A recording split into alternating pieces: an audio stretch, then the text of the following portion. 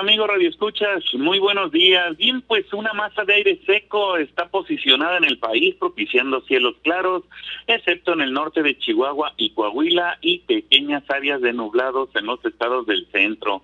El Frente Frío número 6 se desplaza en los mares del Golfo de México y se prolonga hacia el norte de Veracruz y la región huasteca. Al parecer no avanzará más al contrario, tenderá a retroceder hacia costas norteamericanas ya como frente caliente. Este sistema meteorológico todavía estará generando algunas lluvias y chubascos dispersos con algunas granizadas en los estados del centro.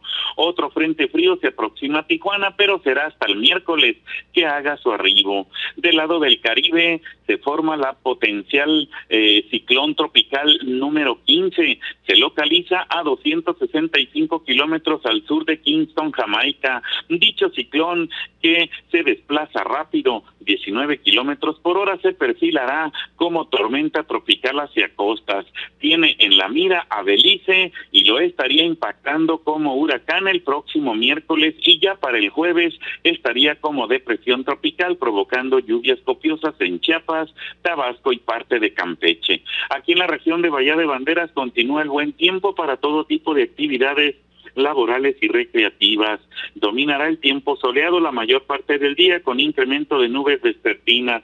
La posibilidad de lluvia se mantiene en niveles bajos. Las temperaturas máximas rondarán los 30 grados centígrados cercanos a las playas, 32 grados algunos kilómetros tierra adentro como Las Palmas. La mínima ocurrida en este amanecer fue de 20 grados y medio en zonas periféricas, escasos 23 grados en centros urbanos. Adelante, Karina.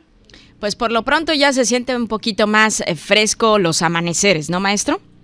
Así es, Karina. Fíjate que lo que ha estado cambiando en sí no es tanto la temperatura, sino el, eh, la humedad relativa. Como tenemos humedades relativas un poquito más bajas, por supuesto, esto lo eh, percibe la piel del ser humano como ambiente más fresco. Claro. Muchísimas gracias, maestro. Buen inicio de semana.